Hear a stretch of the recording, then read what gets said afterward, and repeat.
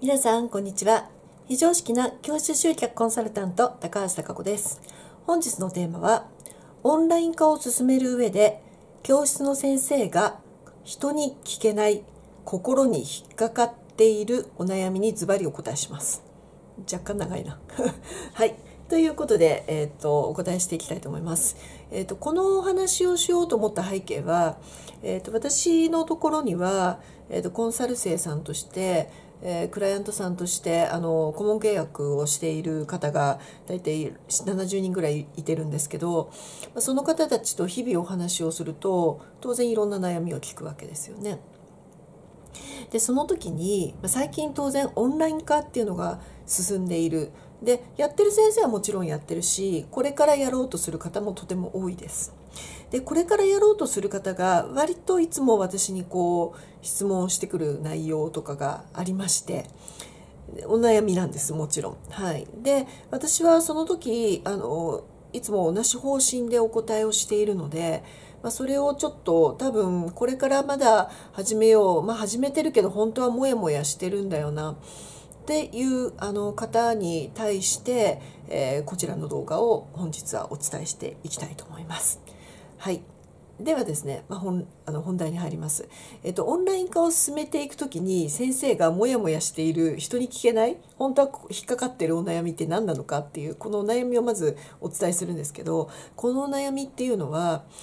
オンライン化した時に対面と違って例えば紙でねレシピを渡すとかそういうんじゃなくて例えばデータで渡すとか、まあ、あと動画が残っていてその動画を渡したりとかすると自分のノウハウとか、えー、まあ、技がそのまんま盗まれてでそのまんまその人が教えちゃうことになっちゃう風になるのが嫌だ。ないしは怖い。とかね、まあ、そんなお話があります。まあそれはね多分オンラインっていうと普通にあの対面であって紙で渡すよりもコピーされやすいしそれをさらに反布しやすいような環境にあるっていうことは間違いないんですね。で特にディプロマを取っているようなディプロマを与えるような教室の仕組みだったりするとディプロマ取ってる人とただそれをあの習ったのをこっそり盗用してやる人っていうところでずるいじゃないかっていう話とかが出ると思うんですけれども、まあ、ここに関してなどう考えていいのかっていう何とりか考えなくてはいけないことがあるのでまずそれをお伝えしていくんですけどまずですねあのオンラインにそのまあ例えば PDF とかレシピとかが載っているっていうことは確かにそのまんま拡散しやすいんですよ実際に。プリントしてそのまま教えちゃうっていう人もまあいるでしょう。ただこの状態においてはあの基本まず人間を信じるっていう意味では性善説にのっとってやるだからあの悪い人がいないという前提でややるっていうやり方がまず一つですまずねでもいるんですよ悪い人は。でじゃあ悪い人がいるという前提でやる場合にはルールを厳しくするっていうことになります。例えばあの書類とかをね作ってえー、そういうものが発覚した場合には法的手続きを取らせてもらいますとか若干脅し気味のやつですね。そういうものを渡してレッスン受講してもらうっていうこともできます。実際にそういうふうにやられている先生もいるしそういうことをされている教会の方もいらっしゃいますしそれは確かに知的財産権を守るという意味ではあの大切なことなのかもしれないし秘伝みたいな形のね内容のノウハウだったりするとそういう対策は当然取らなくてはいけないというものも理解をしています。ですが、えーと、これからお話しする話はその今までの慣習とか、まあ、その先生の気持ちものすごいこう苦労して編み出したないしはそのね門外不出のみたいな状態までしたものを勝手に使ってしかもお金にしてるなんてっていう憤り怒りねそうそういうのは分かるんですよ。感情論は分かります。だけれども時代の流れとしてどういう方向ででどういうふうに考えてて対処していいのかっていうのがこれから私がお話ししたい見解。になります。えー、まずですね、あのー、まあ、今、えー、情報の時代に特に入ってっていうことあの世の中的にはささやかれていて物質の時代から情報の時代所有から共有へっていう形で時代の変化が大きくされている2020年終わりから2021年にかけてその時代が変わるっていうものが実際に変化として起こっているんですね。そうするとまあ基本的にはビジネス商売っていうのはその時代の流れに合わせて変化をしていかなくてはいけないんですよ通常。そう考えるとですねあのじゃあ所有から共有へとか物質から情報とか知識へっていうことでねなった場合にあの知識はもちろんねあの脳の中に入っていくものですから、えー、不動産みたいに硬いものとか見えに見えるものをこう所有するっていうものとはちょっと違う部類のものではあるんですけれども先ほど言ったような、まあ、レシピとかノウハウとか、まあ、性善説に任せるとした時に、まあ、それでも悪い人が出てくるっていう場合にそのノウハウっていう扱いをどう考えるのかっていう話ですよね。でで結論から言うと,、えーと、物を売ってはいけないということが結論になります。え物を売ってはいけないってどういうことっていう話なんですけどちょっと西日が眩しくなってきましたよ。こうこうなればいいか。ちょっと下がりますね。はい。えっと物を売ってはいけないっていうのはまあどういうことかっていうとえー、っと例えばうん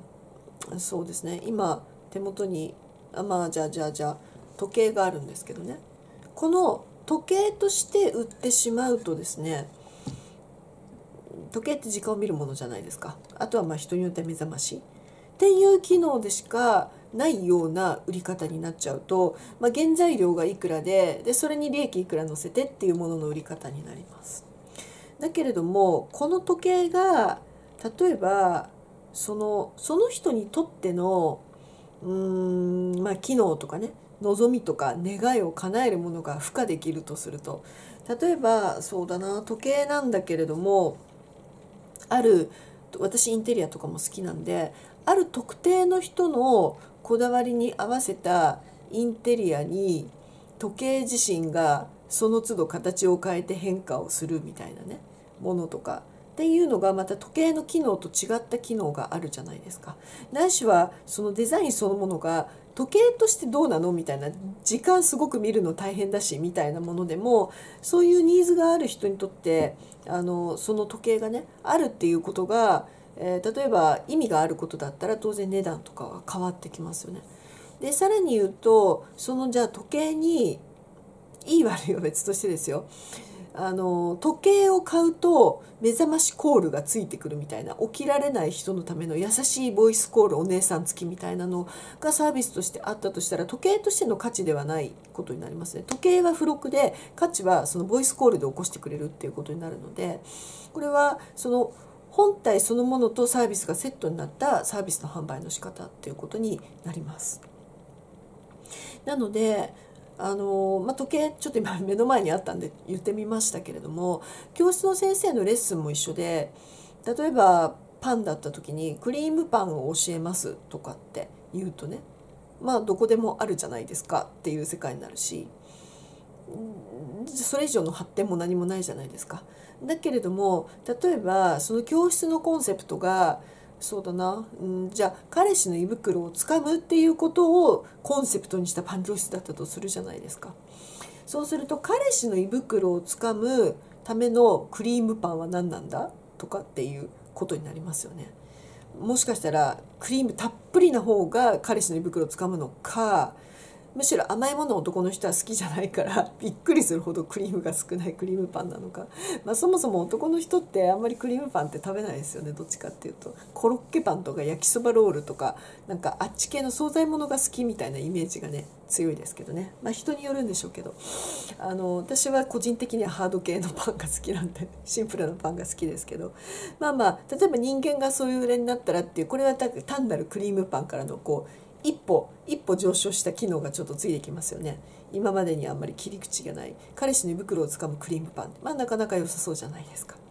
でさらにもう一歩行くとじゃあその新しく開発した彼氏の胃袋をつかむクリームパンをオンラインで教えたらみんながそれを教えちゃうじゃないですか。だから教えたくないんです。という方もいらっしゃいます。オンラインはだから嫌とかって言ってね。でもそうすると例えば数人の人はねそうやって教えちゃう人もいるかもしれないけれどもあそのじゃあ簡単に教えられるもので勝負しますかっていう話なんですよ。ここに必要になってくるのが物を売らないっていうことなんですね。こと体験を売るあとはあなたの人間性とか先生のバックグラウンドとか知ってる知識とかそれを含めた状態で売るかということになります。そうすると唯一の無二のものになるので誰かがどんなにそのレシピレベルをね真似しようとも喋りまでは真似できないし喋、えー、っていく内容をパクったとしてもですよパクるっていうと言葉あれですけど真似たとしてもバックグラウンドが違う、うん、だから出てくる言葉の重みが違うしあの内容が絶対に変わってくるはずなんですよ。だからそれは私のような職業はまさにそれが簡単にできてしまう職業で例えば、まあ、SNS 集客とかってねいうのを教えたりとかまああの例えばそうだなホームページの集客とかっていうのをね教えたとするじゃないですか。だけどその概念は一緒だったとしてもコンサルタントの切り口と持ってる知識と背景によってホームページの集客っていうそのテーマそのものが個性によって教え方が変わっちゃうんですよね。特にそこにだから特徴とか個性が出てくるからだからあなたを選びたいあなたにしたいって言われるように商品構成をしていかなくてはいけなくなってしまったのでそういう意味ではさらに時代が進んだ要は比較される内容があのこう求める形要は私に合ってるのそれみたいなあなた何提供してくれるの？って。だから確率的に同じようなセリフをずっと伝えている先生はクリームパンを教えます。ではもう通用しないということになります。ちょっと頑張って彼氏の胃袋をつかむクリームパン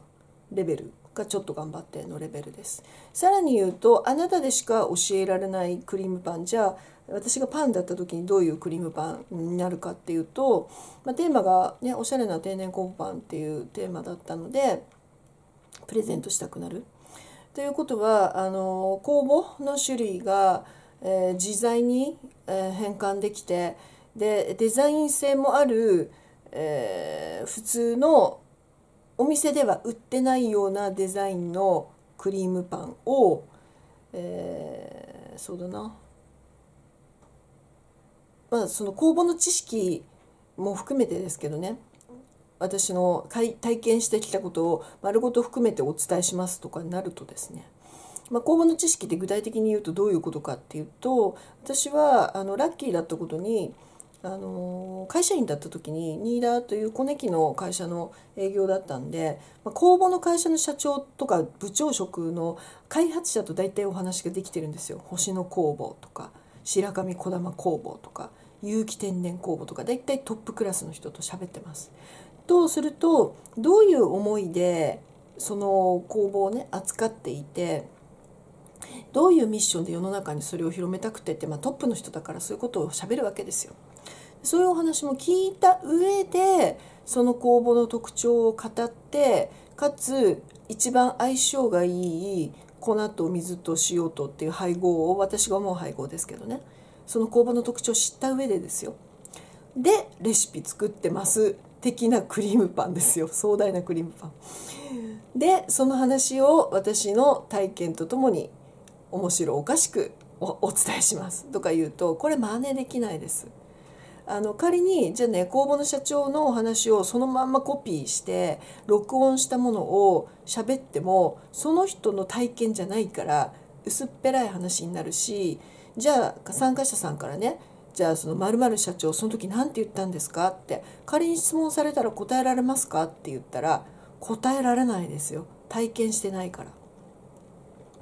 で同じように、まあ、私の場合にはビジュアルとかっていうのをこだわるよっていうのをよく言っているのは自分自身が写真を20年以上やっているっていうこととあのもちろんやってるっていうあれもねまあまああのいろんな覚悟でやってます。写真も焼いてたりとかもしてましたしね。最初の頃はデジタルなんてそんな使ってなかったですから全部アナログでやってましたから。あの露出とか単体露出系を持って写真撮っていたタイプの人ですから、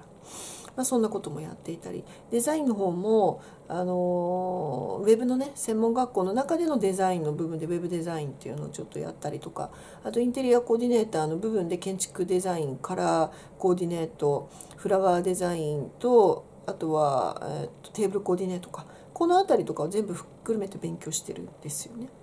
でその知識を使ってトータルバランスで見ていくっていうことが私の場合のホームページの添削になるのでこれはホームページの添削っていう一言で言っても他のコンサルタントが真似できない領域です。なぜならば20年とか10年とかやってきてるものを真似しようと思ったら30年かかるじゃないですか。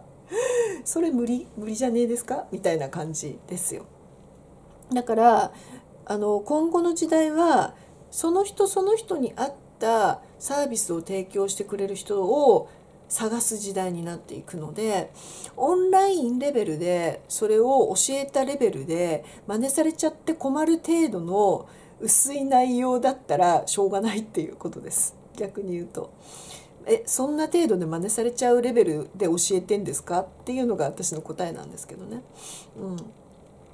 その人自身の人間性とか深さとか知識の深みをあったらですね真似しようがないしあ真似できないなと思って真似するのは諦めますよおそらく。だからそのレベルに達していないないしはそのレベルを達するように教える自信がないか自分を自覚してないか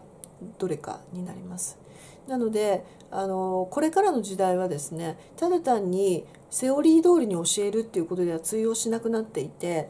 先生自身も自分の強みを改めて深掘りしてそれが強みなんだっていうのを理解した上で発信していかないとダメな時代になりつつあるということになっていきます。ですからあのどちらかっていうと、まあ、心配するよりもさらに選ばれるように、えー、発信力を鍛えましょうとか自分の中に眠ってる宝をちゃんと掘り起こして外に見える化して伝えましょうっていう方に注力した方がよほどいいです。なぜならば教室の先生は外に見える化して言語化をして伝えるのがものすごく下手だからです。はい、すごいね今言いましたよ下手だから。なぜ言うかっていうとものすごい量の文章の添削を私がしているからです。で皆さんが一様にほぼふわっとした言葉で特徴もなく心にも響かない言葉で書いている方が多いでもそれはその人の精一杯なんですよくわかりますだからもっと掘り下げないと自分のこともそうだしお客様のこともよく知って ごめんなさい 掘り下げないとですねダメなんですよ。だから、えーと、結構自分の内観ないしあとお客さんのことをね興味持ってない人が多い。自分がやりたいレッスンをねただやってるだけの人がまだまだ多いなっていうふうに思います。だから私がお客様になり代わってじゃあこれの時はどうなんですか？これの時はどうなんですか？っていうと答えが曖昧、うん、欲しい答えをくれないケースが多いです。ということは私の押し問答レベルでえー、欲しい答えをもらえてないと私が思うということは、えー、その先生のことを知らない全く初めての人がホームページを見たり SNS の発信を見たりした時に先生の人間性を理解できる可能性がものすごく低いということになるので表現力も磨いていかないといけないと思います。ということで結論まとめますとオンライン化を進める上で教室の先生が人には聞けない心に引っかかってるお悩みにズバリお答えしますは、えー、オンラインでレシピを配ったりしたら勝手に真似されて勝手に教えられちゃうんじゃないかというお悩みは考えるだけで、えー、もうあまり意味がないことです。だとしたら、えー、それ以上の真似できないものを作るというふうに考えをシフトした方がよほど個性化になるしお客様も喜ぶしもう真似しようっていう人が真似できないって諦めるからそっちの方がよっぽど早いということを本日はお伝えしたいと思います。それでは